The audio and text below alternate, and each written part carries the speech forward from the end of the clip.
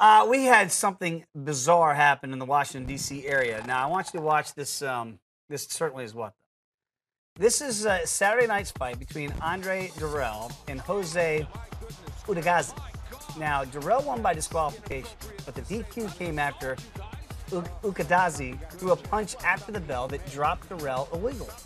Dirrell's cornerman and his uncle, Leon Lawson, then sucker punched Jose.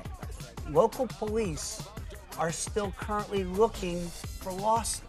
So there's the late, and you can see it's not that egregious. I get it, Dirrell, it did come after the bell. His uncle wants to protect his nephew. You can't attack a fighter, any fighter in the. This is like shades of Andrew Golota and Mike Tyson way back when.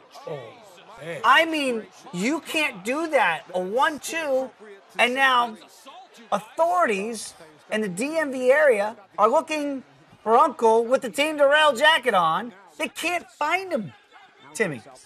How does that happen? I get it. It's Washington D.C. It's the Beltway. Yeah, but they'll find them eventually.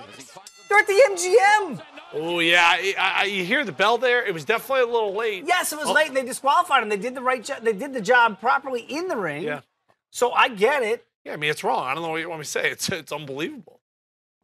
Is there any way that you can justify uncle protecting nephew? Sucker punching, no. right? He obviously must have not have that strong a fist. He got a good blow in there, and Oh, even when didn't- you're not expecting a shot, like if I if right now, and like you didn't expect it, it would hurt you more. If you knew I was going to punch you, you defend yourself a little bit better, right? yeah. But I was surprised the way the boxer took that punch. He's a boxer. Bare knuckle. Yeah, but he's a boxer. They're kind of used to it. What is that?